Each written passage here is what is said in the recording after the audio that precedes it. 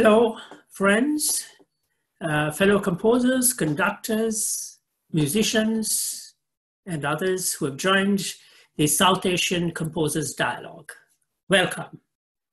I'm Lalanath de Silva, and I'm the host of this dialogue for today.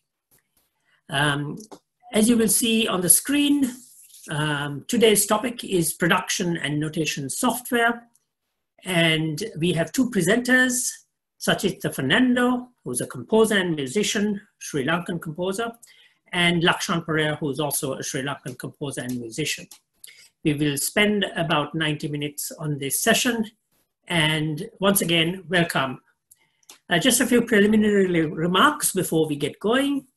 Um, if you are, I'm going to all of, mute all of the participants, but if you wish to speak, you can unmute yourself. Or if you have a question or a comment you like to make, you can also use the chat box and write it down and we can then read it out uh, at an appropriate point in time. Um, uh, I hope you can use your basic commands. You can, if you have low bandwidth from where you are uh, joining us, you can mute your video uh, and that way hopefully you will uh, still see the screen and be able to hear the presentations. Um, here is our agenda for today. We will spend about 90 minutes, as I said, and I will start with a brief introduction. Um, and then we will have uh, the subject of production and notation software presented to us by Sachiththa Fernando, and thereafter uh, very much focused on Finale software uh, presented by Lakshan Perera. And then we will have questions and discussions uh, thereafter. So let me start without more ado. Um, here is a, a, picture of very early uh, musical writing in the West. This is a mass, a Christian mass. And as you can see, there are four uh, lines here on which the notes are written down.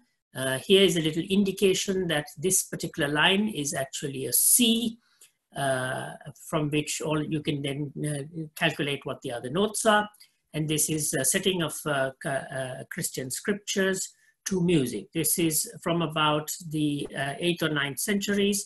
And here you see one of the earliest forms of musical notation in the West, a four-stave musical notation. Very soon, by the 10th century, by 10, 1,000 years after AD, 1000 AD, you had um, uh, a six or five stave uh, musical notation being developed and sometimes even six staves. And this particular uh, uh, piece of music is attributed to Guido Arezzo, um, who was actually uh, credited was credited with creating a more standardized form of musical notation. This is musical notation of plain chant, um, or Gregorian chant, which is the way in which uh, the scriptures were chanted in the church in the West. Then you have, here is a very interesting um, uh, piece of music, which is again printed music, but you see how the notes are written and the stems are written on the other side compared to the way we write them now. Um, and interestingly, um, this particular piece of music is actually written on six staves. So you see there are actually six lines. So this is an example of a six stave musical notation system, also all are around the same period of time.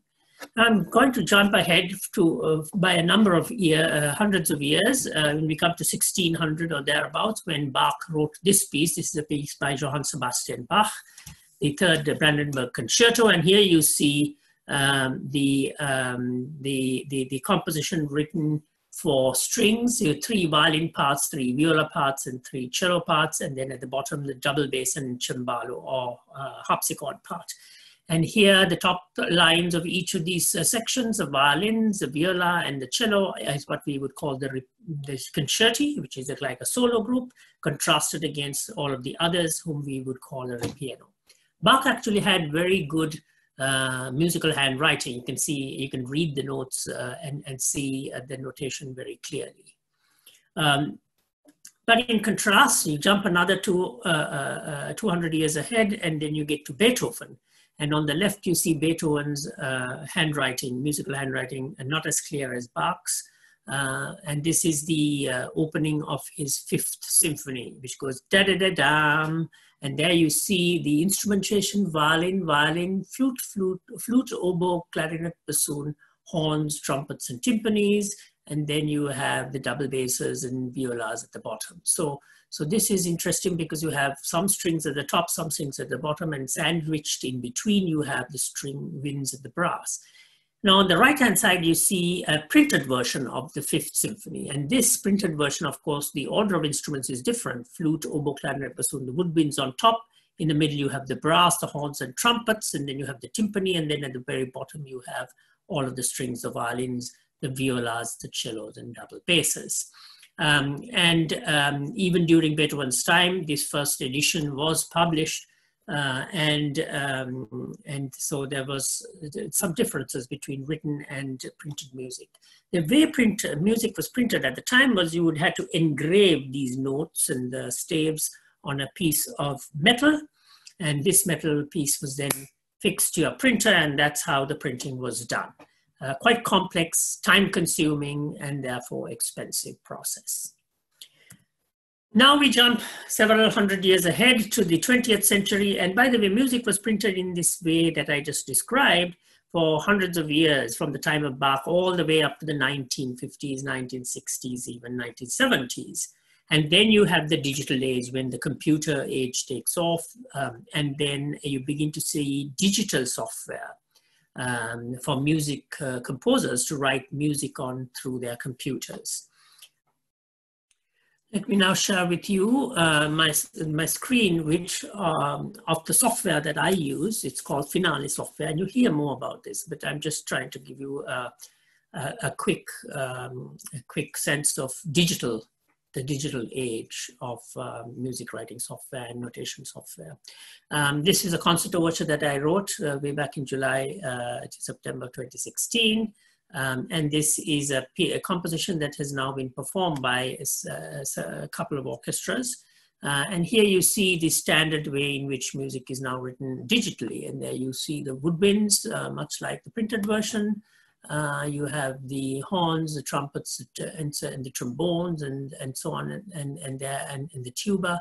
And this forms the brass and then you have the timpanis and the percussion after that, and then the strings. So very much a full, full. Uh, you have a full uh, score here, and it looks very much like printed music at the moment. And what's what's really important is uh, you can actually play this music, and it will play back to you with full digital uh, digital sound, with full orchestral sound. so I'm going to play this for you, uh, so that you you you can hear this um, hear this for yourself. But let me just stop this for a minute to ensure that I am actually also sharing with you the computer sound uh, so that you can hear this music. So here we go.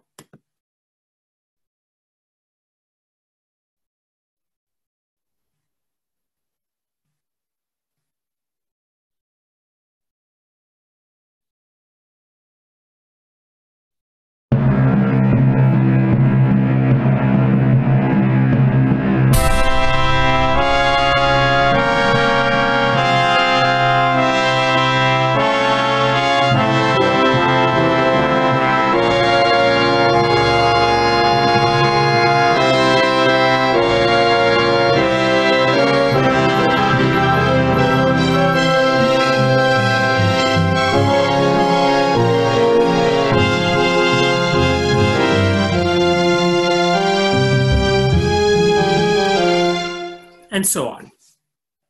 So with that, um, let me now uh, turn this um, uh, turn this um, session over to our two uh, guests uh, and uh, our presenters. Uh, the first of whom is Sachiththa Fernando. Now, Sachiththa is, let me introduce him to you before he speaks.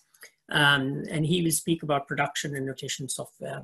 Uh, Sachit is a very accomplished uh, composer and, uh, and musician. Uh, he uh, has studied under a number of uh, Sri Lanka's leading teachers, amongst whom is uh, Mr. Ananda Dabare for, for violin, he's a violinist, uh, Menaka de Fonseca, Sachiththa also is a singer, and then Ruvini Hapugula for piano. So he's had a fairly rounded musical education.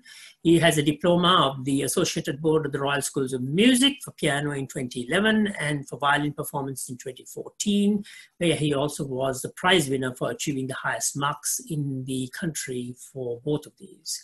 Now, in addition to all of these qualifications that he has, he also holds a science degree from the University of Colombo. I, I guess he graduated, was it this year or the last year? I, can't remember, but very recently. And here, there he studied subjects such as computer science, nuclear science, uh, uh, mathematics, applied mathematics, and so on. So he has both uh, uh competence in music, but also competence in the science and the computer computer science background. Now he's written a number of pieces for orchestra. Um, in 2014, one of his compositions was premiered by the Symphony Orchestra of Sri Lanka.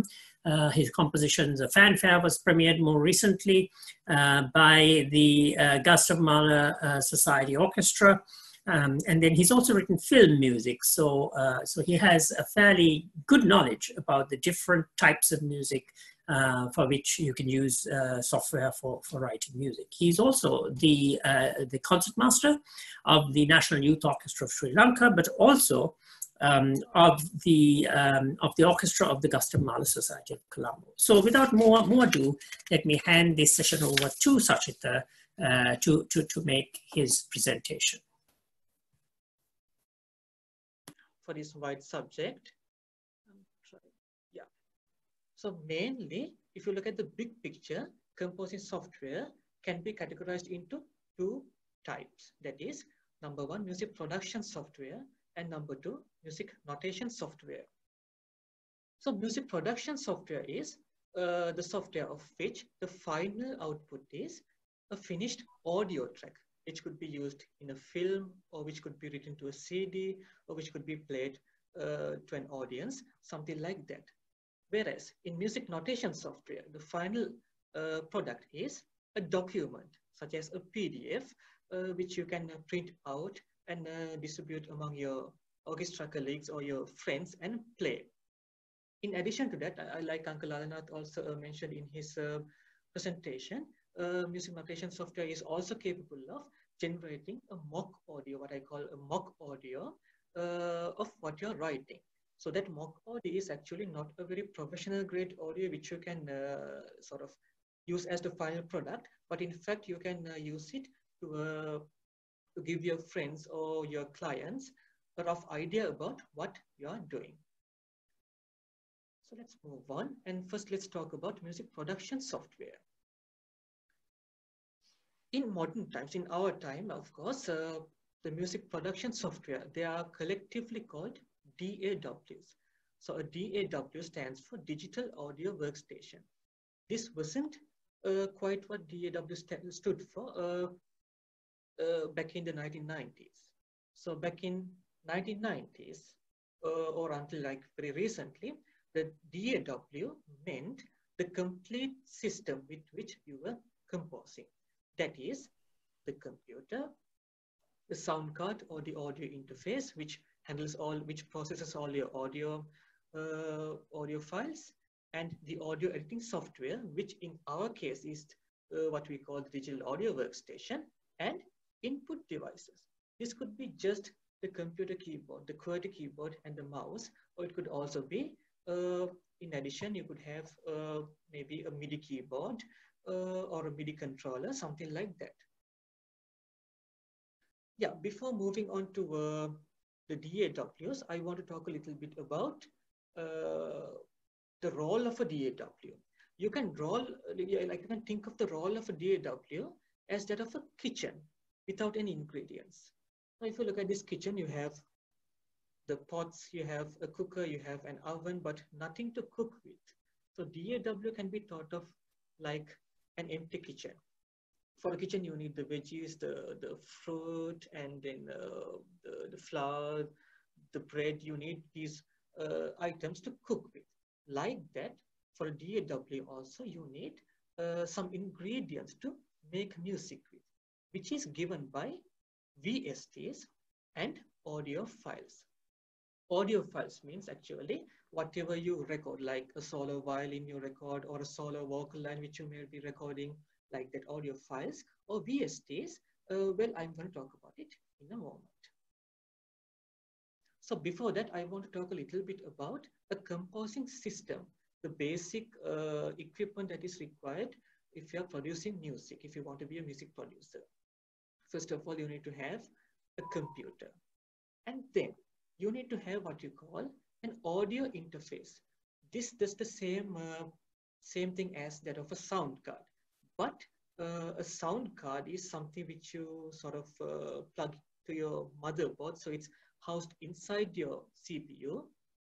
Whereas an audio interface uh, is a, a, little bit different so that uh, what it does is it, it houses the sound card inside the audio interface unit. And in addition to that, it allows you to connect mics and other line inputs into the audio interface, as well as it gives uh, outputs such as for headphones and for studio monitors. After that, you need a good pair of headphones. I say with a linear frequency response. What is a linear frequency response? So I'm going to zoom in on this graph or a flat frequency response. So this is a graph of the frequency response versus uh, the frequency. On the x-axis, you have the frequency all the way from 20 hertz to 20,000 hertz, which is the audible range of uh, the human ear. And then on the y-axis, you have the, uh, the, the frequency response indicated in decibels. So if you look at the first graph, you can see it's more or less linear. Okay, there are some surges and some uh, falls here, but it's more or less linear. If you look at the second graph, uh, like there's a boost here, there's a peak here, and the sensitivity in this range that is from approximately say uh, maybe maybe 30 hertz to 50 hertz or maybe 70 hertz it's not very uh, like not very sensitive in that frequency region. So this is what you call a tailored frequency response. A tailored frequency response is something where you boost or abate certain frequency ranges in order to achieve a practical results. So for example, if you think of the earphones which you may be wearing when you are while you are jogging, you want to have a bit of a boost for the bass. Otherwise, you, you won't be hearing the bass very clearly when you are jogging. Uh, but you cannot use anything like that for composing. You need to have uh, your equipment with uh, with a very flat frequency response because this is going to be your reference. So what happens if you try to compose with something like this? So suppose this is the frequency curve of the head pair of headphones I'm using. In this one, there's uh, like this, uh, like the bass is going to be very much less compared to that of a normal uh, headphone with a studio grade headphone with flat with a flat frequency response. So in this one, I'll be bringing up my bass frequencies to uh, compensate the, the tailored frequency curve in this one. So when I play that track on a normal setup or an audio system, there's going to be too much bass. Whereas if I do this, if I do my mix with this uh, headphone, what's going to happen is I'm going to uh, like compare it with the frequency response of this particular headphone, which is very flat. So when I play that one on, on, on a normal audio system, it's, it's going to very likely have the right amount of bass, treble, and highs, depending on the audio system I'm playing on. So that is why you should always get a headphone or any uh, any like any studio monitors or any equipment with a flat frequency response for mixing and mastering purposes. Yeah, you can have a headphone, or unless if you have the budget, or and also if you have a very good soundproofed uh, and an acoustically treated room, you can get a pair of studio monitors. But once again, there's no point of getting a studio monitor, pair of studio monitors just for the sake of uh, looking like giving making your studio look good because most of the entry level studio monitors uh, aren't uh, like ideal for composing uh, purposes or mixing purposes. I mean they just try to behave like studio monitors but they don't actually do a very good job. So unless you have like a budget of at least a uh, thousand dollars to spend on a good pair of uh, studio monitors, it's best to stick to a good pair of headphones. In fact, with headphones, uh, you will have to spend less. At the same time, you can hear more details because your, your headphones are going to be just right next to your ears. So I have been using headphones and I'm really happy with that. Uh, what I have experienced is that when you use studio monitors, compared to headphones, set of headphones, the level of details you're hearing with studio monitors is somewhat less. Maybe once you get used to it, uh, you'll be able to handle it. But uh, still, it's always better to check your mixes with a headphone indeed. And then we can have another input device, which is a MIDI keyboard. A MIDI keyboard is a keyboard which doesn't have sounds on its own, like there's no sound stored in the keyboard. In fact, it sends what we call MIDI data to, to the audio interface and then to the computer. So it is the computer that chooses based on the MIDI data it receives what note to play and at which intensity, like uh, the emphasis of the note and the frequency of the note. Also, you can have a mic connected to your audio interface to record uh, maybe some vocals or a solo violin or a solo guitar like that. So that is why you really need to have an audio interface, not uh, not a dedicated sound card which is mounted to your uh, to your motherboard. This allows the audio interface allows you to connect all this equipment uh, without too much of trouble. Now I'm going to talk a little bit about VSTs. So VST stands for Virtual Studio Technology. There are uh, three types actually, and this is a type of plugins. This is, this isn't something which you can use on its own. So you have to use it in conjunction with uh, something like a digital audio workstation. So there are three types mainly. VST instruments, number one. Number two, VST effects. And number three, VST MIDI effects. Now let's look at each of them individually. A VST instrument is a plugin that generates audio. So when you uh, input a certain note with your MIDI keyboard into your DAW, uh, the DAW chooses which note to play according to what you play on the MIDI keyboard. So for, for the DAW to do that, you have to have a VST loaded into your DAW. So that is why I have uh, like described it as a plugin that generates audio. And then once again, uh, there are two types of VST instruments. Uh, number one, the virtual synthesizers, and number two, samplers. Virtual synthesizer is uh, a couple of oscillators or a series of oscillators generating different waveforms to achieve the desired pitch and the tone color of, uh, of that tone which you which you're going after. So these are not natural sounds, these are uh, all artificial synth sounds. And the interesting one is the sampler. If you are really into orchestral music, sampler is what, what you will have to use. So a sampler is something which plays pre-recorded actual instrument sounds corresponding to the desired note. So think of it like this.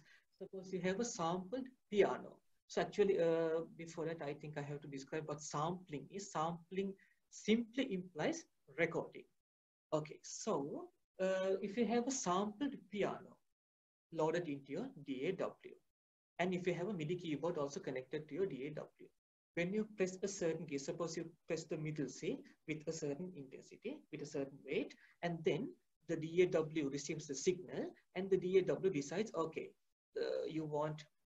It's seven o'clock. So you want the DAW. It's okay. Yeah, you want the DAW to play uh, the middle C at a certain volume level. So what it does is it picks from the sampled library the right note required for that purpose. So uh, what you are hearing is actually a note which was actually recorded by an actual using an actual piano. So if you are sampling a piano, you have 88 keys in a standard key, piano keyboard, and uh, that means you have to record each and every note for multiple levels of intensities and for various articulations. So that's not a that's not an easy process. Uh, but once it's properly done, you can simply load this VST or the sample library into your DAW, and you can plug in a MIDI keyboard, and you can very easily play it as if you're playing that concert grand piano, which was used to uh, record those original sounds. not only for not only for pianos, this sampling can be done for other instruments too. In fact, it has been done for full orchestras, choirs, uh, various ethnic instruments, percussion instruments. So the list is endless. The other interesting fact about these samplers is it, uh, these samplers come with controllable parameters. That means you can control the intensity, the, the weight of the note you're playing, whether it's accented or whether it's very, very soft and very quiet, or you can even control the vibrato, like whether if you want your violin section to have a lot of heavy vibrato, or whether you want it to be very plain and very, just a very, uh, very simplistic, very simple, those parameters can be controlled. Uh, but actually it depends on the sample, sam, uh, sample library you're using. If it's a good sample library, then you can uh, control those uh, parameters. VST effects are the plugins that process audios. That means these don't, gener these don't generate audios.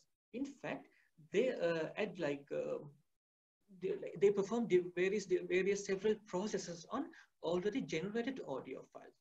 So for example, a reverb, or it could be a mastering effect, or it could be, a, be some equalization. It could be a, a delay like that. It adds effects on uh, audios which have already been generated. Then finally, the third type, VST MIDI effects. VST MIDI effects are the, uh, are the type of plugins that process MIDI data and send to other VST instruments. So basically, there's no sound involved in these uh, MIDI effects uh, VSTs. What they do is they perform certain uh, certain uh, functions on MIDI data. Like for example, some data which you receive uh, from a VST, sorry, I mean from a MIDI keyboard.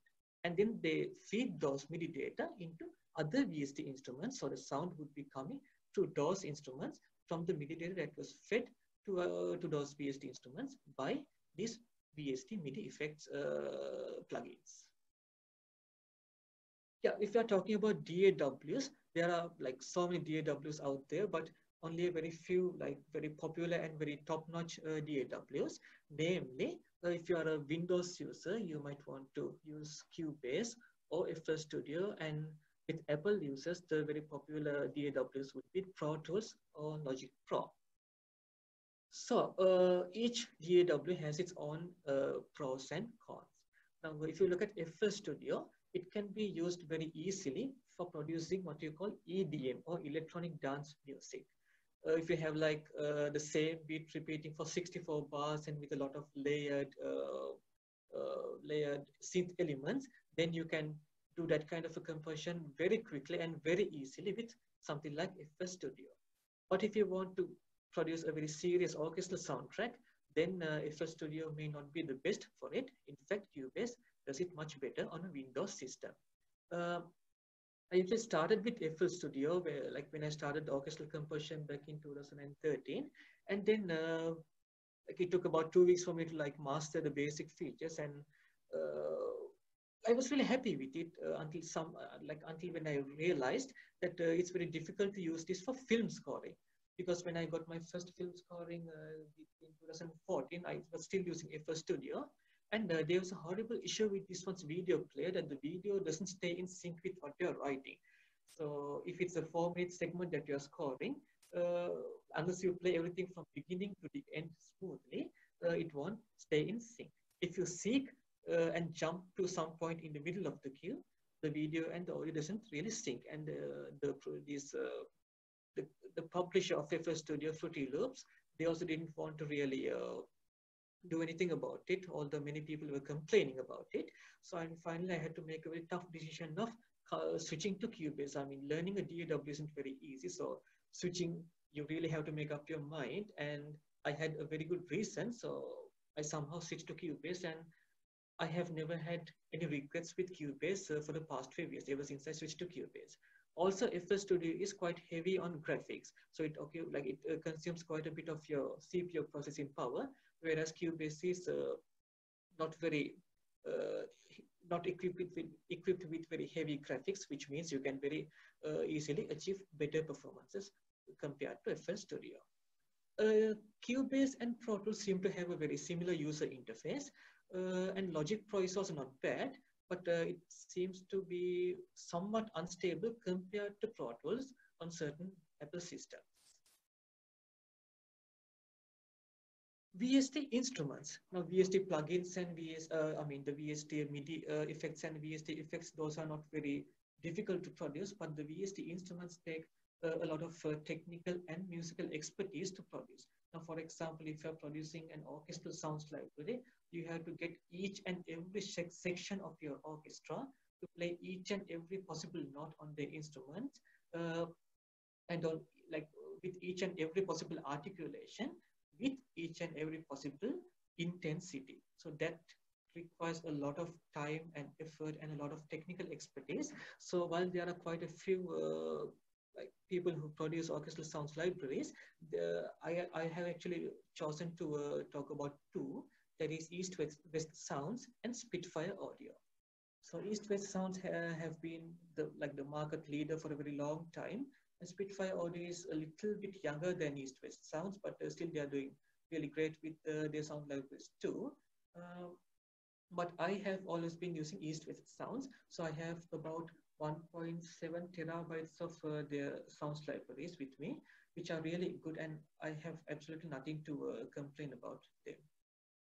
So those sound libraries include full orchestra, two full orchestras, choirs, then uh, ethnic sounds, then ethnic percussion, cinematic percussion, electronic elements like lots and lots of uh, sounds, and the list is quite long. Digital audio interface, sorry, uh, digital audio workstation user interface. Now, although there are multiple DAWs, the user interface uh, has some very uh, common key elements.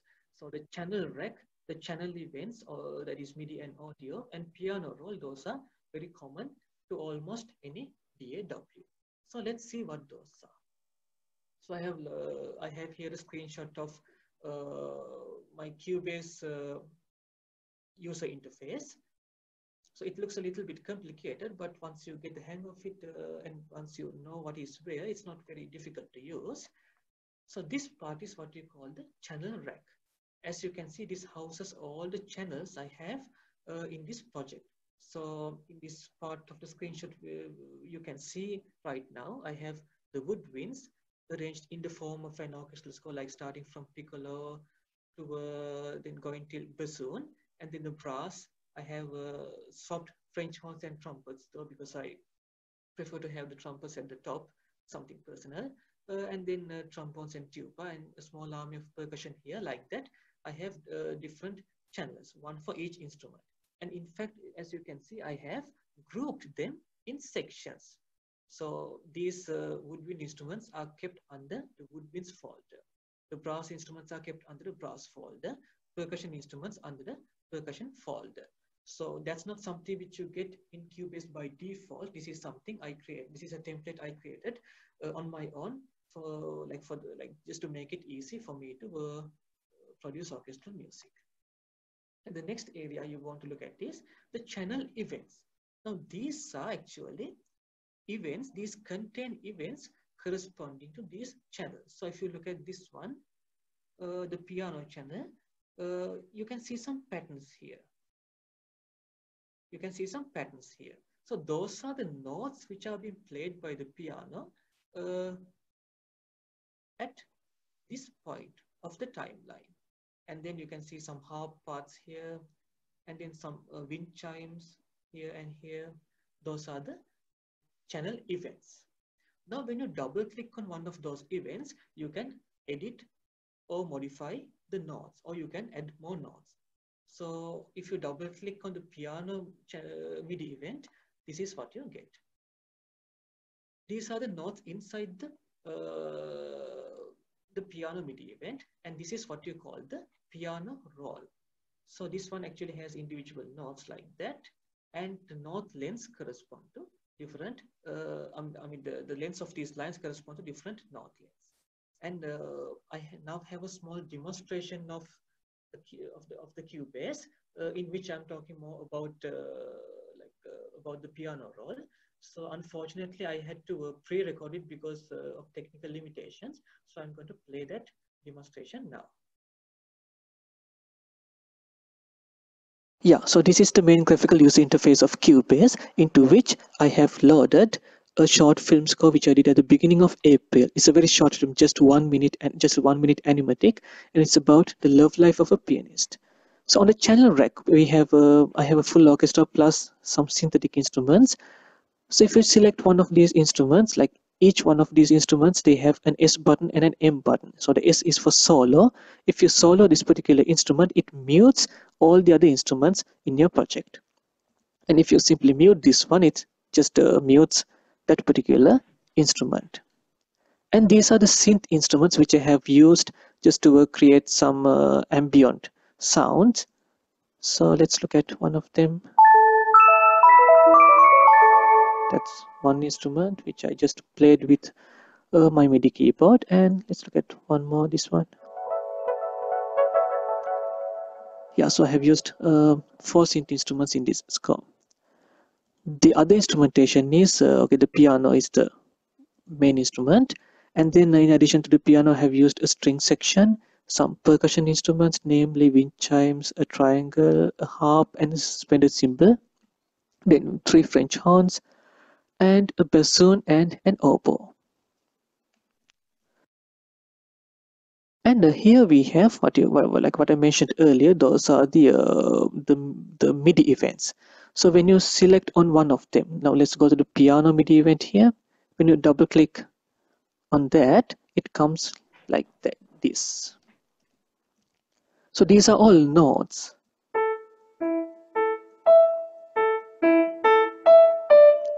And the length of these bars correspond to the note length. So these are short notes and this is a long note like that.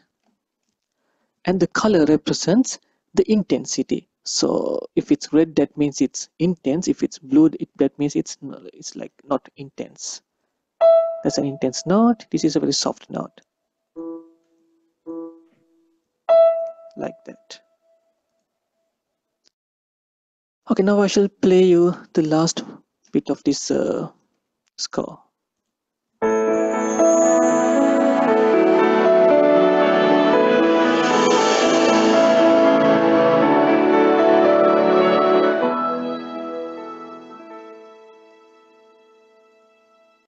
Now, as you can see, I have actually uh, grouped these uh, instruments into their respective sections. So for example, first violin, second viola, cellos, and double basses have been grouped into strings.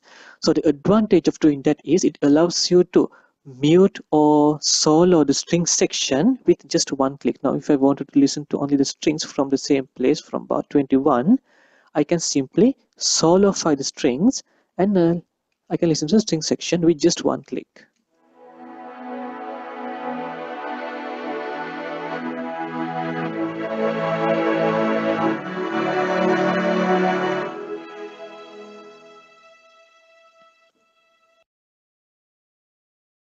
And then when you uncheck the solo button all the other instruments come back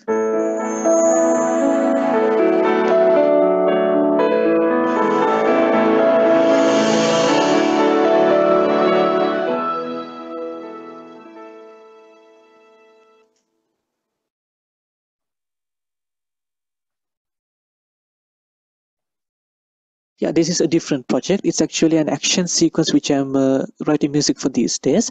So very contrasting material to what i showed you earlier. So i shall uh, play a very short segment from the middle of this sequence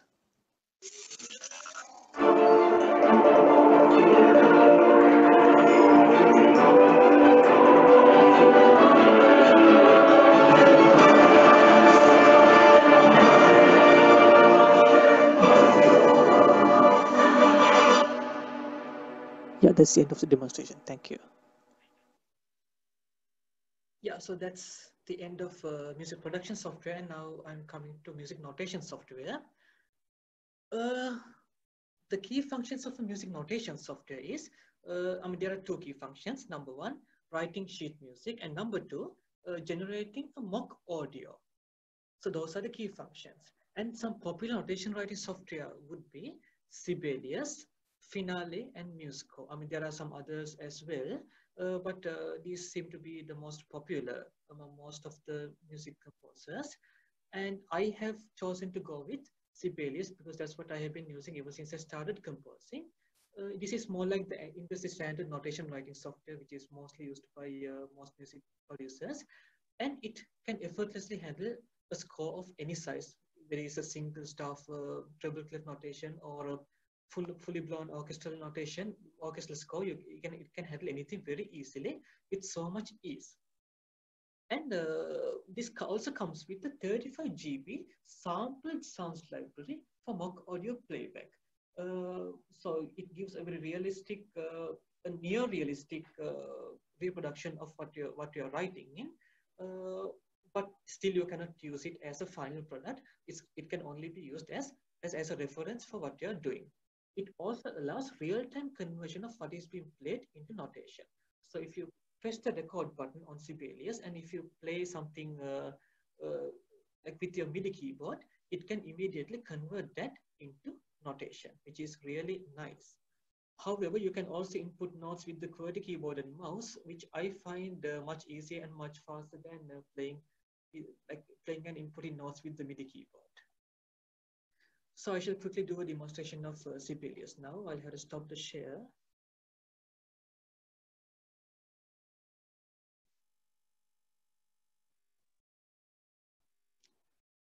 Yeah, so this is the user interface of uh, of Sibelius.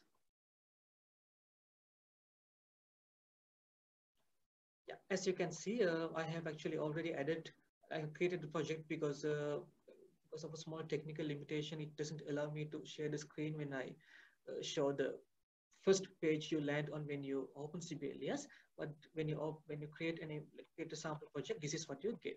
So you can input nodes uh, onto these staves with your mouse initially.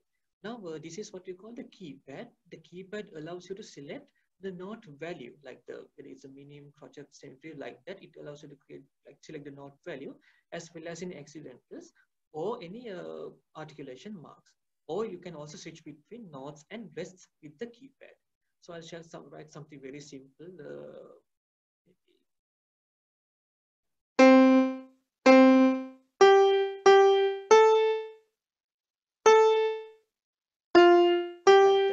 So actually, uh, you can very quickly input notes with, with the use of the, uh, the QWERTY keyboard, the normal computer keyboard. So if you simply use letters A, B, C, D, E, and E, F, and G, uh, you can simply write those uh, into your Cubase. So now I'm going to select the note type as crotchets and first put this note here. And now I'm not using the mouse, I'm only using the keyboard. I press F, I press E, I press the E once again, then two Ds.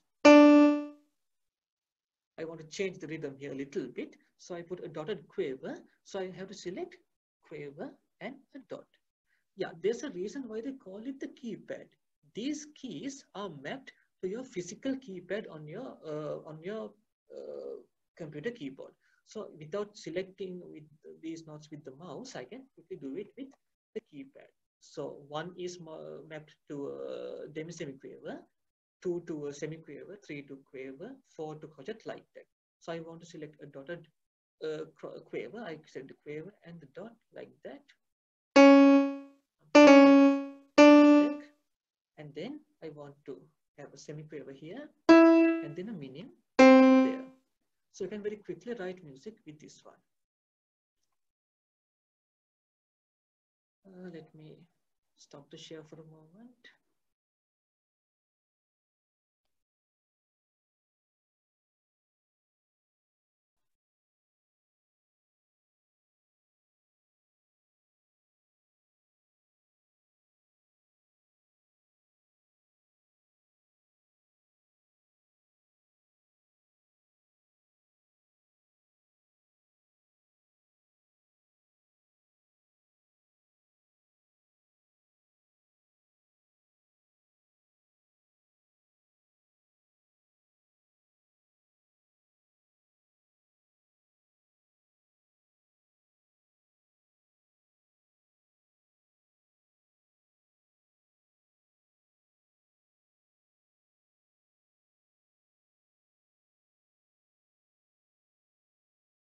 Sachiththa?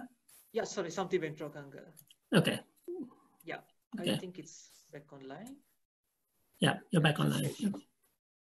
You can see the score, right? Yes, go ahead. Great. Yeah.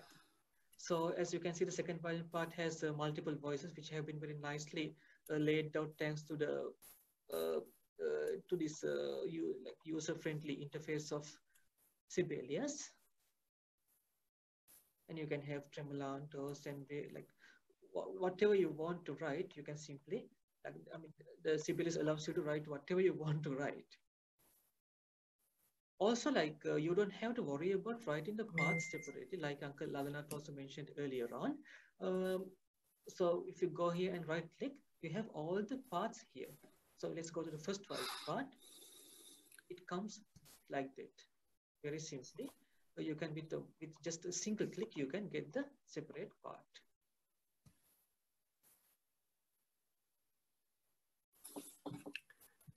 Sachiththa, yeah, I want to keep a, sorry, I didn't mean to interrupt yeah. you, but we need to keep a tab of the time. We've taken yes, more yeah, than so 20 minutes. Uh, yeah, yeah. Yeah, sure. Thank you. Go ahead. Yeah, so that's uh, the end of the demonstration for Sibelius. And let's quickly look at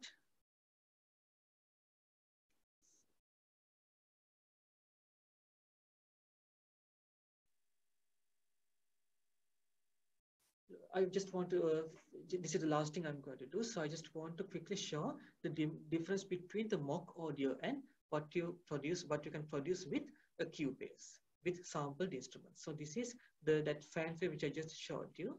Uh, and uh, this is what the Sibelius output sounds like.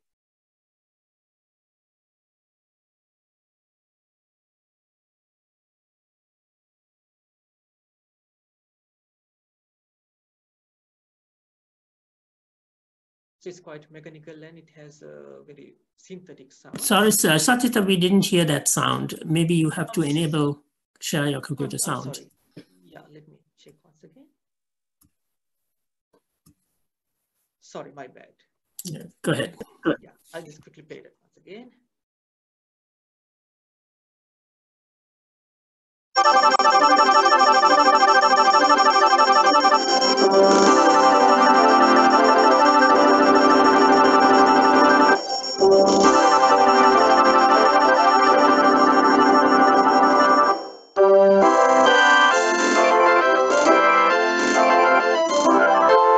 Very synth and it's uh, hardly human sounding and very uh, very artificial and this is what I did uh, of the same piece of music with Cubase using a very good sound uh, sampled sounds library.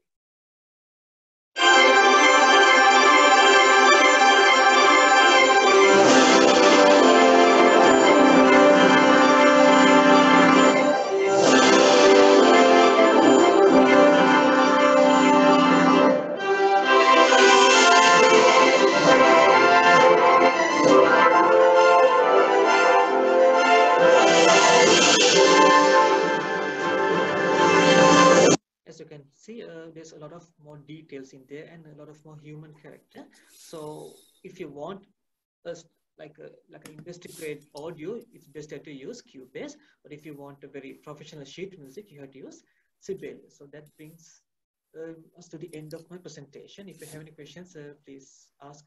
I think they can ask it during the Q&A session later on, right? Uh, yes, Sachiththa. Um, uh, we, we do have a quick question from Rukshan um, Vidyalankar, uh, who's online. And he says, Sachiththa, what's your take on analog orchestral sounds as against digital sounds you create? Are we missing the warmth of the analog? Uh, so that's his question. Uh, you can either answer that now or think about it and answer it during Q&A um, as you wish. Uh, well, can I Yeah, go ahead, go ahead. Rukshan, would you like to unmute you?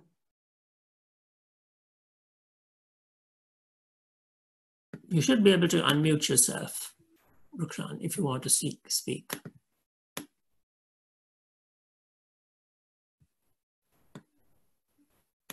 Let me unmute you. Okay, we can hear you, Rukshan, if you want to speak now.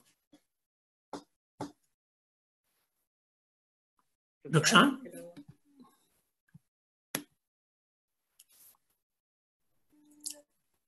I'm not hearing Rukshan, but that's okay. Um, just yeah, just go ahead and uh, yeah, you, you can answer his question if you like. Um, yeah, so actually I don't, I'm, I'm not too sure what he meant by the analog orchestral sound, like whether it's the the sound that was recorded, uh, like when you were like recording uh, to, uh, to produce LPs, the 1960s, 70s methods, or the uh, digital CD and the sampled uh, orchestral sounds. I don't know which one he was referring to.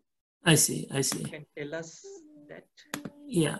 Rukshan, you can ask yourself, uh, you can unmute yourself. Anyways, to give a general answer, like, okay, you can, of, of course, the analog sound is much better, that warmer than that, uh, that human nature, you can only get it with analog equipment and use of by use of an actual orchestra. But the thing is, it requires it requires an Olympus budget to get an orchestra to record and to uh, produce it uh, like at a very good studio like Abbey Road Studios, which is my personal favorite. So compared to the cost of producing uh, producing an analog recording of an orchestra, uh, actually it's more rewarding to uh, get uh, like get your music produced with a DAW, in, like using a very good sounds library.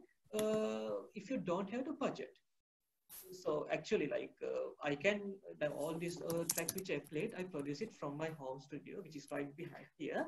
I'm not even using studio monitors. This is not an acoustically treated room. I use headphones. So with that you can achieve very very uh, very satisfactory results.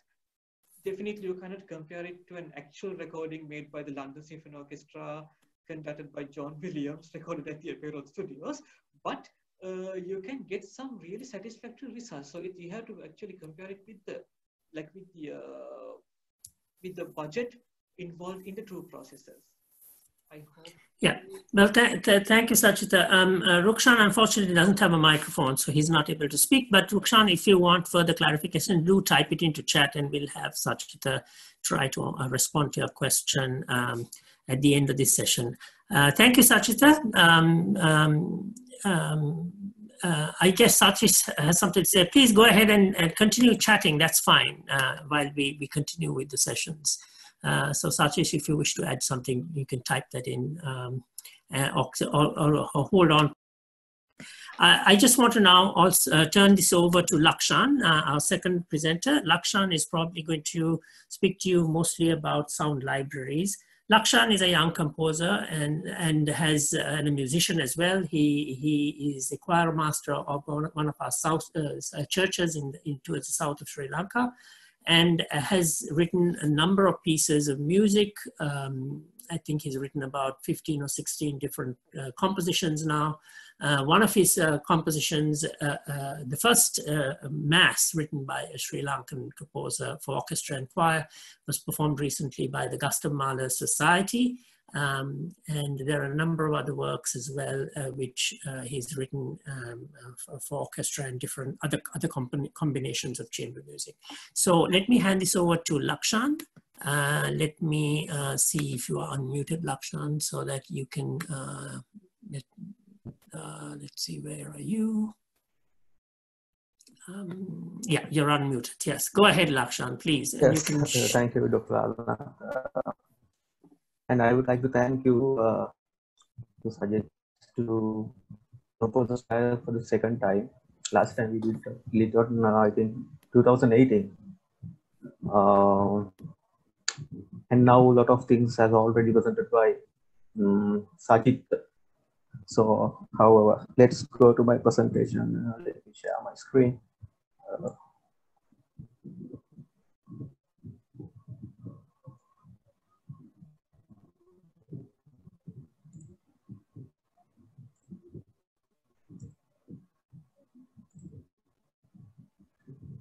right. Uh,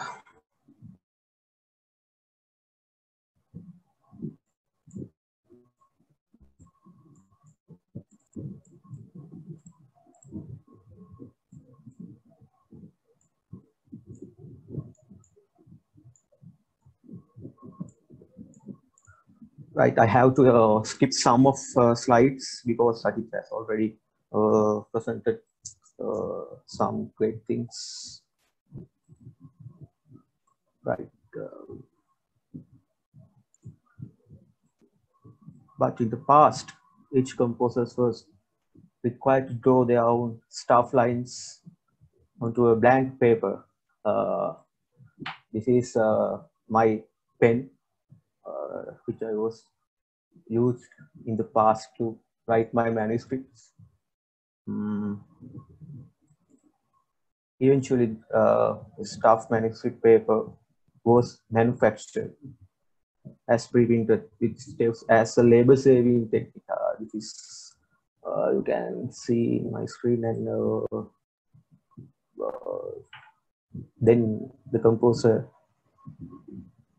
could then compose directly music into lines in pencil or ink until the arrival until the arrival of modern methods. Music had to be written in by hand for large scale works. Mm, the copyist was employed hand copy individual parts for each musician from composer's musical scope. Uh, that uh, got a lot of time and a lot of labor and lot of errors as mentioned by Dr. Lalanath. But now, with the advent of the personal computer in late 1980 and beyond, music typesetting now could be could now be accomplished by a computer software made for score writing purposes, such as Finale, Sibelius, and this is great Dorico and Musescore, which has reduced the necessity of music manuscript. This computer software allows the composer or song writer to enter their melodies, rhythms, and lyrics to their compositions into computer using a mouse, computer keyboard, computer keyboard, and uh, MIDI keyboard. Uh, once composition uh, composition is fully entered to composing score writing program, the computer can be instructed to export the parts for all the different instruments, like first violin, second violins, uh, like that. Uh, but remember, both handwritten and computer-based copying require significant understanding of musical notation, music theory, the music styles and conventions of different styles of music regarding appropriate ornamentations, harmony rules pertaining to accidentals, and strong attention to all details and past conventions. And I'm going to the photograph. Next slide. Uh, this is autograph of the first page of Brahms Fourth Symphony. And this is computerized, the same symphony. So you can see the difference and which one is clear. Right. Uh, Sachiththa told about um, music production equipments for the DAW and recording, voice recording, uh, so on. Uh, now I will show you the essential equipment uh, which are using for music scoring. This is essential things. You need you need a computer and music writing software and MIDI compatible device. Uh, the keyboard is very good. This is a 88 uh, keys, 88 keyboard, uh, piano keyboard, uh, which allows you to go the lower notes and higher notes. Uh, how does musical notation software work? With musical music notation software, your computer does the job for you. You connect the MIDI instrument directly to your computer and play the best you said, or output part to be transcribed from the pre-recorded sound libraries, as Sajid said earlier uh, and I can skip the Sibelius and this is uh, musical softwares, scoring softwares I'm using.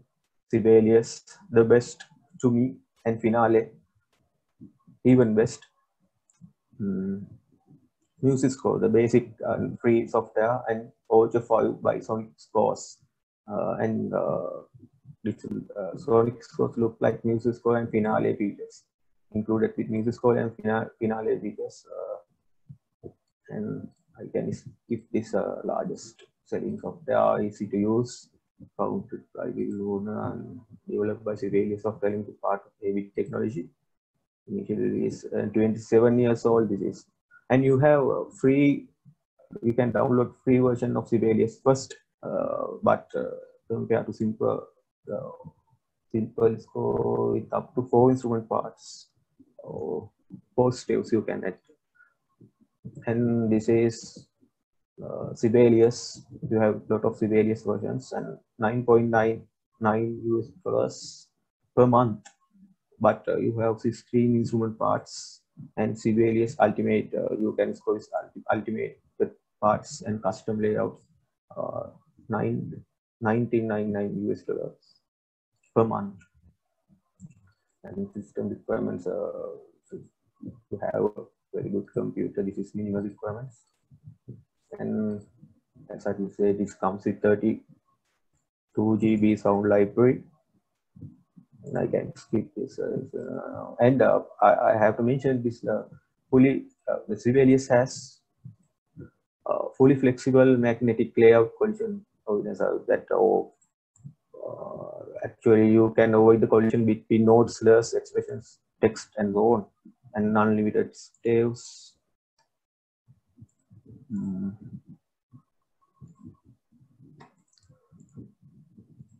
Skipping uh, and the statistical part arrange feature. Uh, it had lots of, a lot of plugins and meeting of non-relational symbols. Uh, right, you can skip. And this is uh, uh, you can see this is the screenshot of uh, Sibelius. And I'm going to Finale uh, this is the most prominent, uh, this, this is most uh, widely used software uh, prominent, uh, is used by prominent composers and publishers and uh, institutions. and this is the best film scoring software that I have mentioned some film, Passion of the Christ, Spider-Man, Harry Potter, like that and released on 1980, 30 years old, older than me, 31 years old, developed by Make Music, available in eight languages. And I would, uh, this is how it costs. Retail price 600 dollars, academic and theological 350, university and college institute, uh, new purchase or upgrade $99 upgrade from previous version of finale if you want to upgrade from finale 25 to finale 26 uh, you have pay one and 149 dollars and system requirements windows 7 or later 4 gb ram unit or 4 2 and higher processor amd Athlon 64 bit processor is better, uh, better processor. And i'm going to some features. Uh, not trying to yeah, MIDI keyboard, computer keyboard, then mouse uh, file uh, it, uh, in uh, and file input a variety type of files are supported. Uh, supported real-time video performance capture. Uh, you can hit the record button and play your piece by MIDI keyboard and it will type automatically into the software. So the mess uh, and next the massive and right library of over 500 PM Garritan instrument sound uh, and uh, sounds made by uh, Make Music in addition to uh, basic MIDI sounds and Garritan has a big uh, has big uh, sound libraries um, pre-recorded sounds with real instruments and human playback renders your music with stunning realism. The human playback uh, feature allows you to change your playback methods, change custom sound IDs as you wish. Which uh, this is a very good feature and powerful features such as link park, notation, educator softwares, tempo and uh, own, uh, free technical support. ARIA player. Uh, this is a VST player, as I mentioned about earlier presentation. Uh, the ARIA uh, ARIA player uh, uh, ARIA player plays uh, ARIA player plays the Garritan sounds uh, and effects. Transport, ReWire support.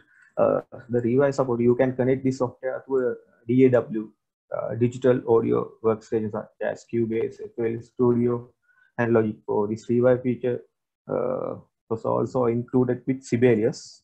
Uh, and uh, all time signatures, expanded music Excel, XML import and export. Excel, uh, this XML is a common format which permit you to carry your score across another music notation software. So, uh, and as an example, uh, a piece you have scored in MuseScore or Finale, uh, you can export it as music in XML format and you then you can open it in Sibelius and Finale. Uh, that is a file format uh, which permit you to carry uh, your score across another musical software. And Lakshan, is, uh, yes. Lakshan, I'm, I'm, I don't want to interrupt you, but um, I'm, I'm conscious of time. Um, I want to leave I, enough time for questions and answers. So um, maybe you can move, move it on a little bit. Okay, thank you. Uh, and Cisco, this is free software. Uh, you can download it and experience it. Uh, and this has unlimited score length. Uh, these details you can find in catalogs on internet and YouTube. So this is uh, my fourth symphony score. I have scored, I scored this uh, with MuseScore and Note 5. Right, uh, now I'm going to show you uh, some my sound libraries uh, which I'm using uh, with for my works and uh, I uh, need some time to load. I'll show my fourth symphony Ignition score. I'll take about five minutes more. That's okay. So go ahead and load that up, Lakshan. In the meantime, I'm I'm going to see if I can respond to one or two questions that have been uh, asked online.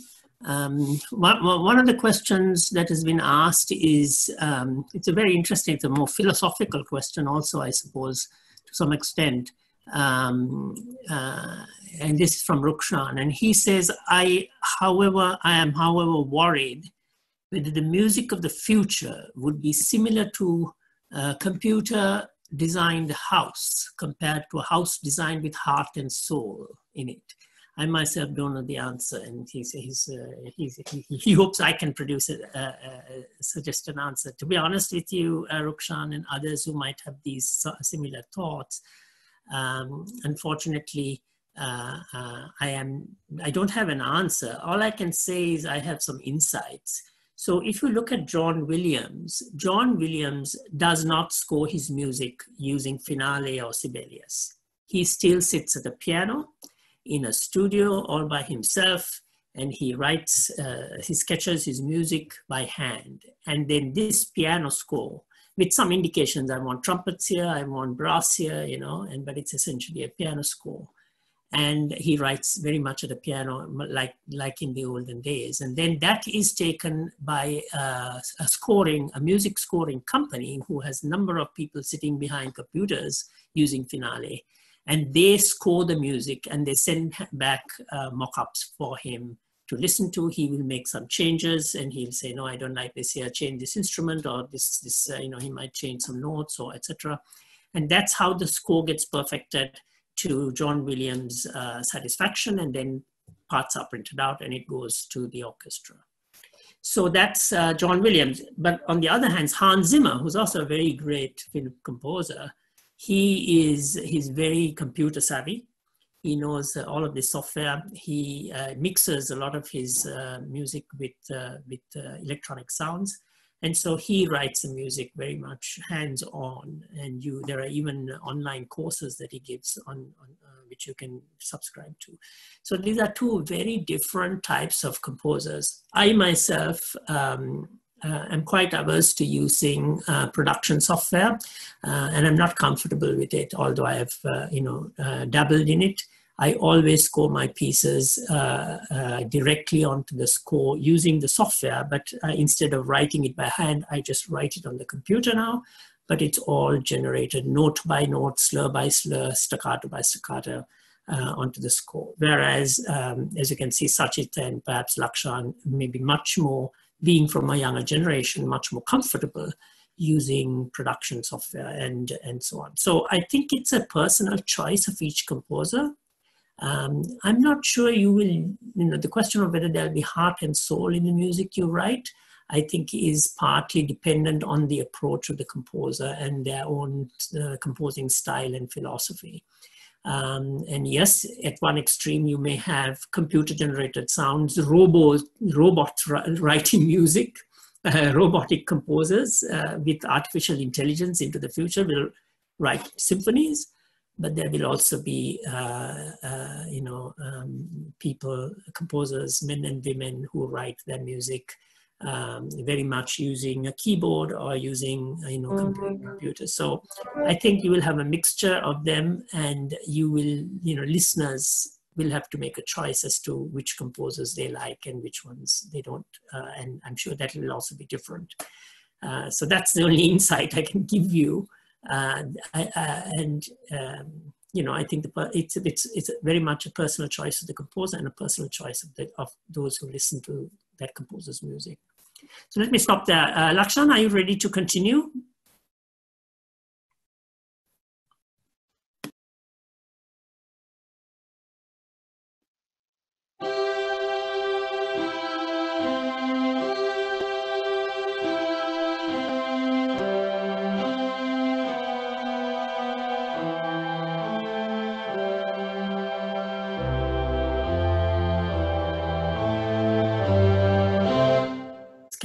Thank you. Uh, this is a very useful software uh, and basic. Uh, I think this is 110 megabyte for the download uh, and comes with basic MIDI uh, MIDI sounds and I have added uh, custom MIDI sounds and you can enter notes speedily and play and simple playback and uh, some articulations are not supporting music MuseScore. That this is the uh, actually this is the uh, first step of mine. And then I'll show some uh, my sound libraries which I'm using with uh, uh, with my Sibelius software. And I'll play you uh, audio first. This is from Sibelius.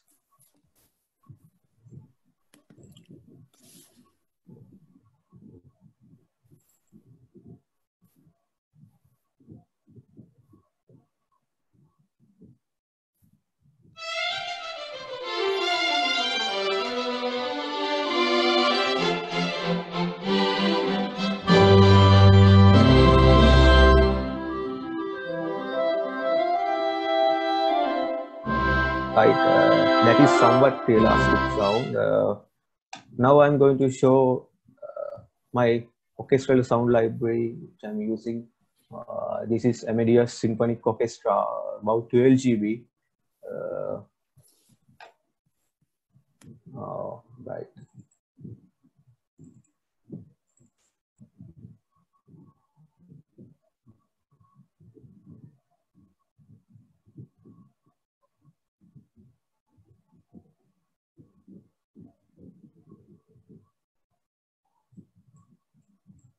uh, this player can connect with the, my music software. Uh, I'll play through my MIDI keyboard.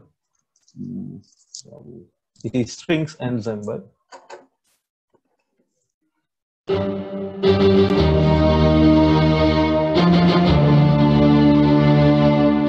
you can see the realistic sounds. Uh, pre-recorded sounds and you have any orchestral sound in solo strings and, and loading violin, solo violin.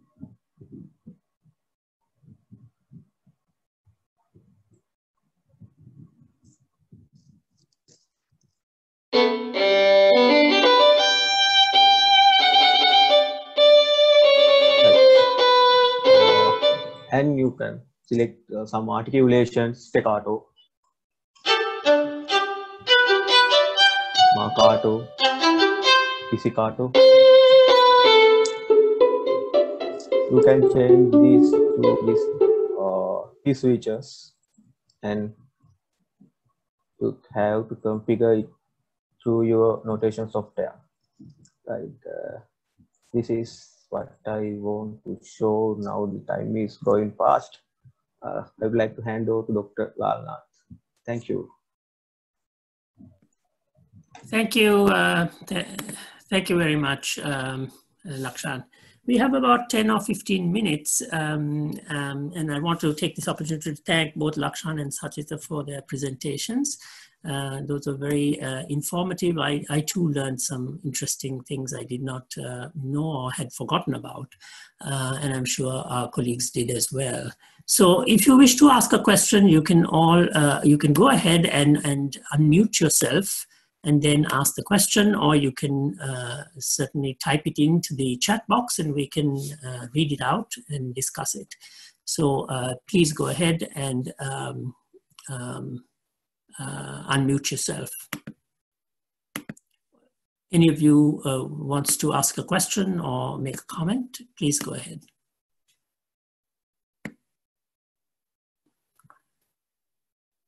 I know Harsha is online. Harsha, do you do, uh, do you want to? Um, yes. uh, I know you've had some experience with this uh, writing music as well, so maybe you want to make some comments. Yeah, actually, I, I want to encourage uh, Lakshan and Sachiththa. And Alnath, I think uh, that question about, you know, whether music, like you said, it's a philosophical question, you know, whether will this new new technology sort of dampen your your talent or your composing skills or your scope, you know, of output, you know, of what you put out, whether it will be human or not. I mean, basically that was the question. But this, I can remember when I was small, uh, you know, my, my father had a 620 camera, 620, you know, the 620 box camera, right? Uh, then some, okay, we used it in the family and then and then sometime later, uh, when I was about 11 years, we got news about the SLR camera, right? Then mm-hmm. my father was a very knowledgeable, knowledgeable person, lawyer, lawyer like you, George Makalanda. he said, son, anyone can take photos from this SLR, you know. Uh, but I, I used to argue. I said, uh, no, I don't. I don't think it, it's. I think uh, it's just increasing your scope to the extent that you should be not become you should not become a slave to technology you should you should be more more clever to handle that technology so that you can you know go beyond what people are doing before you know and actually that was right now do you complain about the SLR? no one complains about the SLR. i mean it's a basic mm-hmm. unit so i think it's the same for music writing i, I don't think lakshan and sajit will be hampered or their, their talent will be brought down or dampened by any of whatever the technology improvements are, if they are clever enough, and I know that they are clever, two clever guys, you know, very, very well, uh, they will handle it and they will bring out the best for this, uh, especially for the for our country and for the music world, I think. Thank you. Thank you, Harsha. No, that is uh, uh that is quite true. That is quite true. Um, I know that uh, there are others who express some views on this on the chat. Um, for example, I think um, uh, I think I saw Satish, Satish Champion. Would you, uh, you yeah, go ahead, please. Yes, sir. Yes, sir. Uh, I think first of all, I must uh, you know compliment uh, both the presenters. They did a fantastic job. I personally I use Finale, and mm -hmm. the thing is that I had. Yeah, Satish, tell us from where where you're speaking. Are you are you speaking from I'm India? speaking from That is correct. I'm uh, based in Vishakhapatnam, Oh, and good. uh, so I also I'm use so a bit of glad. I'm so glad you're able to join. Very good. We we're So all part of a interesting. we are all part of a common uh, common uh, you know we are all part part of the Mahabharata as they call it in, in ancient times. And I So- think it, you know it's it's time that we started talking to each other and yeah and helping each other. Yes. Please go ahead. Please go ahead. So, so uh, the thing is that I, I uh, from whatever we could gather from the concerns about heart versus uh, thing, and uh, you know, uh, there was a time when you know, uh, like during my father's generation and all, they could just call the uh, you know stenographer into the uh, office and they could dictate out a letter which would probably go through just maybe one or two uh, iterations. Okay. So, but now with the advent of the MS Word, you know, we find ourselves, you know, continuously restructuring our paragraphs. Sometimes we move entire paragraphs up and down. So what happens is that, you know, uh, yes, there, it is a fact that, you know, that we like to hear something like in finale, we end up hearing what we have written. But like you very rightly pointed out, John Williams is a perfect example of someone who conceives the music in his head. And when it comes down on paper, it comes down and it's, it's to some degree of finality is there in it you know so that is there. But uh, the fear of you know having uh, one of the members had uh, expressed a fear that you know the music may become computerized. I may not entirely agree with that. I mean that's just my opinion. I feel the computer aids the computer generation is basically aiding you to focus on your target uh, with a host of palettes and you know host of options which it gives so that you can use those options and you can get your ends achieved I think uh, I would go for that because I use Finale, and you know, uh, if I didn't have Finale and I had to write, uh, you know, a score for my uh, musicians, I would find that you know I have to keep drawing lines, I have to keep you know adjusting bar lines, adjusting note spacing so that they come in line with the entire you know the entire band and all these things. But Finale does the job for me, and you know I can just extract parts. I don't have to start copying out parts for everyone, and you know so I feel uh, the computer if as long as uh, you know our uh, mind is focused on what our end result is i think you can exploit the power of digital world to uh, attain that. Now insofar as uh, the daw is concerned like what it was also very rightly pointed out that you know in one on one context it is where you are directly inputting sounds into an audio track. The other one is where you're inputting notes into an audio track. Like when we are working with cubase and uh, similar such DAWs, you actually play the uh, notes. You send MIDI data, and the tone generator, which is the VSTI in this case, will uh, will take that MIDI data and it will assign a sound to it based on what we have uh, assigned using the VSTI. So you're directly inputting sounds inside a track, which later on, because it is in the standard MIDI protocol, you're able to convert it into notation. So that is one. But finale, of course, is a totally different uh, ball game where you actually have to write notation into it, and the notation thereafter becomes sound. So I think uh, these are the fundamental differences which I found that uh, because I worked a little bit on Cubase and uh, I just tried out my hand even at Fruity Loops, but I still found I'm a finale boy. You know, Mhm. where that is my core competency, where I write a score and uh, you know. And the sounds are not all that bad if you just maybe you know run it through a VSTI plugin. It's got the facility of having a plugin uh, linked to it, so it's quite good that way.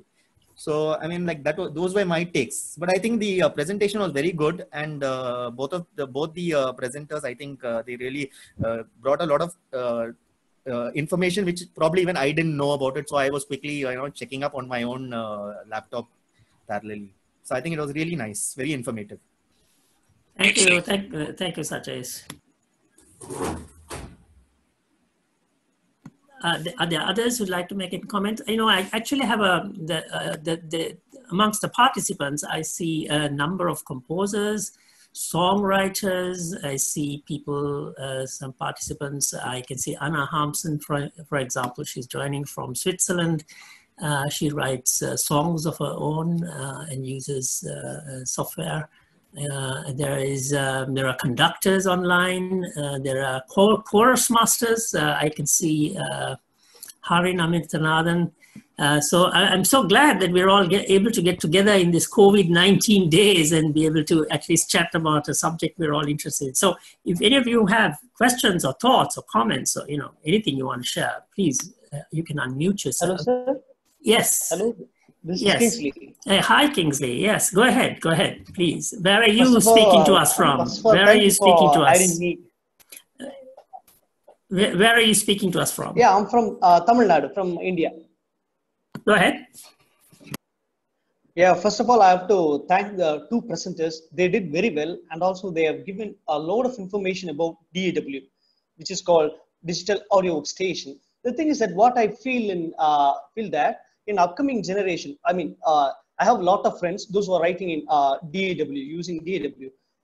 Th those people, they are not uh, using all these, I mean, music score, music score and and all. They are just playing and input, I mean, inputting notes. Because, I mean, because after coming DAW, there, there is, uh, I mean, I'm a music teacher, you know, I mean, no one is studying, I mean, music theory and, uh, I mean, compass and this and that and all. They are just, uh, straight away, they are using, I mean, uh, go to the Kontakt patch and they'll uh, load string patches and they'll play the chords. So uh, they, I mean, they don't know the fundamentals of uh, how to write music for strings and brass and percussion and all. So this is what I feel. But the uh, thing is that some uh, very educated musicians, they are familiar with all the things. I mean, how to write a sheet music and, and how it should be converted to, I mean, DAW, I mean, for softwares. And also I have a question that uh, I'm using uh, as well as MuseScore uh, for my writing.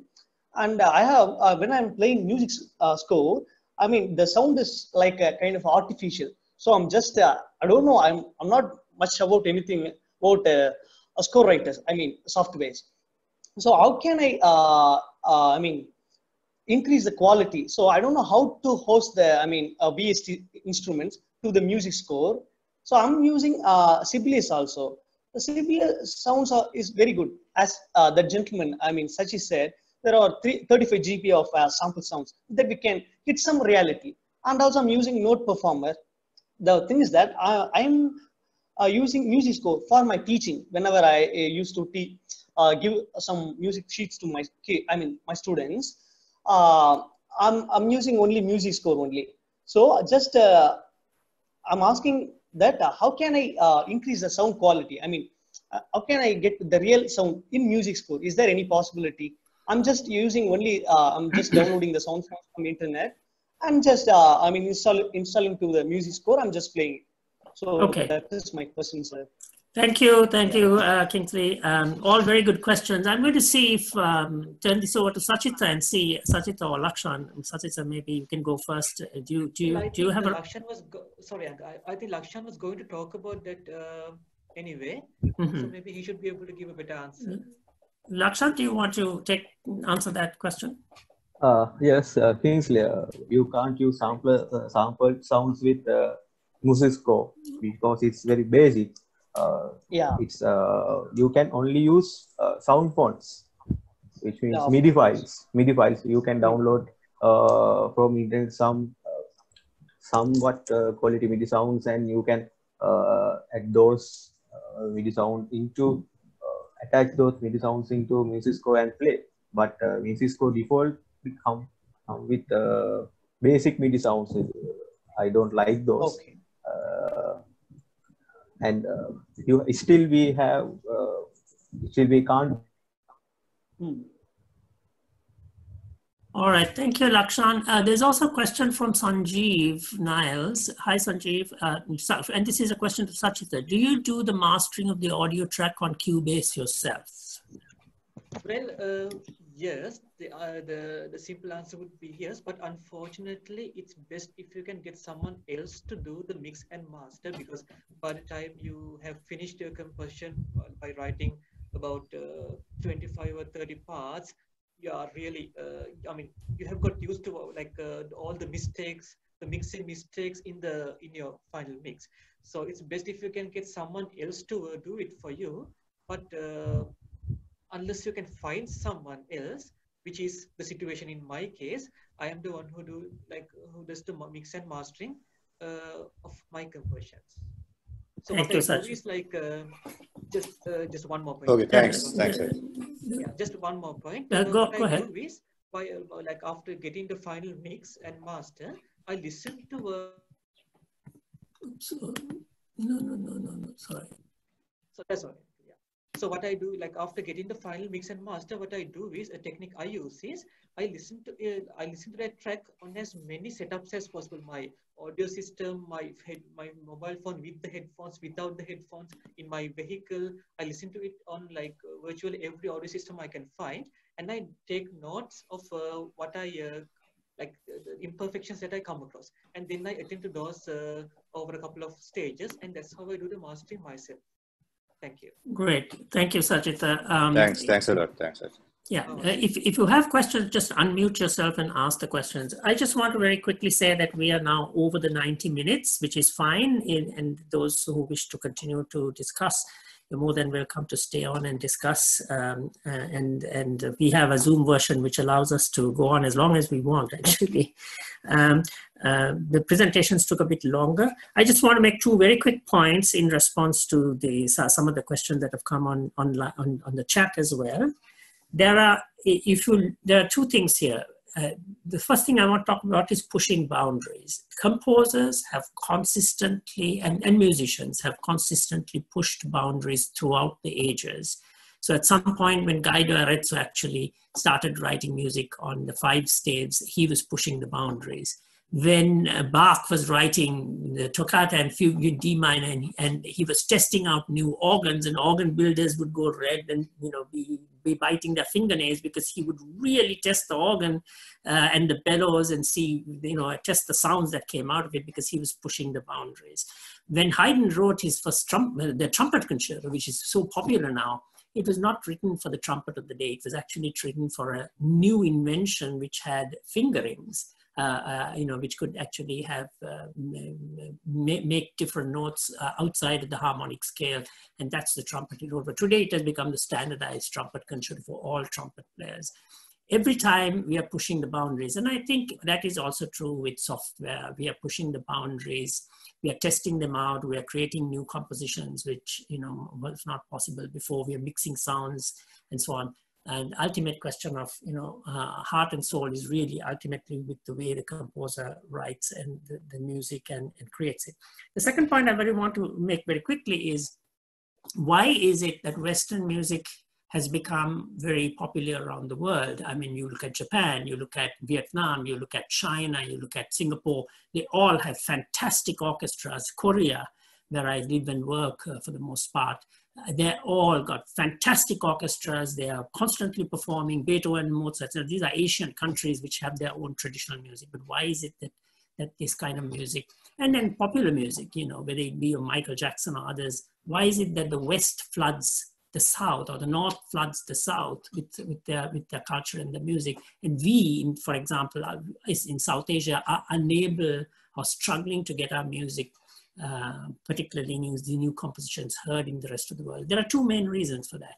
Firstly, documentation.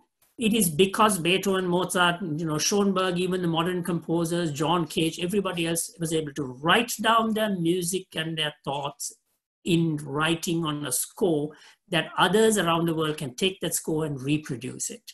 If you only have it in production software, if you only have it in digital sound, then it is not going to be, it's going to be really hard for human beings to reproduce that. So documentation of your music is critical if we want our music to go beyond our little city or town or country. So that's the first point I want to make. So scores, scores, write your music down so that others can read it uh, and play it. The second thing, of course, is why uh, the, why Western music has become, you know, global is because of the power of the media there's a lot of controlling uh, control of the media, of the television, of radio stations, which constantly blasts this music out. Is uh, is there's there's a lot of power in that, and the West has a lot of control over that compared to our stations. So so these are the two reasons. But at least uh, my appeal to all young composers is to document your music, write it down in a score form as much as you can, because that is the only way it can be preserved and then played by others outside of, of our own uh, of our own countries, of our own cities, of our own, you know, uh, states and so on. So let me just stop my, my preaching here and see if you, any of you have other questions.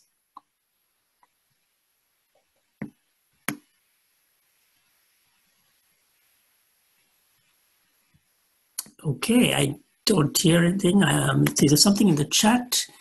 Uh, Sachiththa, okay, and your response is there. Um, do read the chat. It's quite an interesting discussion that's been going on on the chat as well.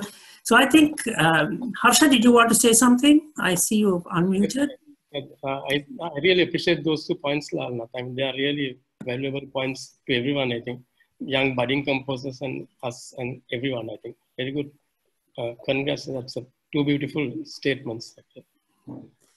Thank you, Harsha. So we're over time now, and so I think we should now bring this uh, session to a close. Um, I think this was really wonderful to have all of you. I can see some of you are, uh, on the videos, and you know, though we cannot be in each other's presence uh, and and and face to face, at least we've had this opportunity. We will do this again.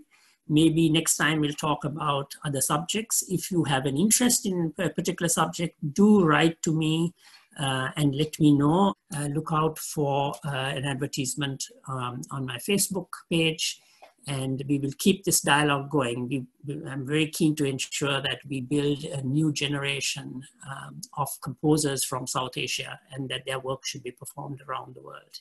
So with that, thank you to Sachiththa, thank you Lakshan, thank you for all of you who participated and stay safe till we meet again. Bye, bye-bye. Bye, sir. Bye bye. Bye now.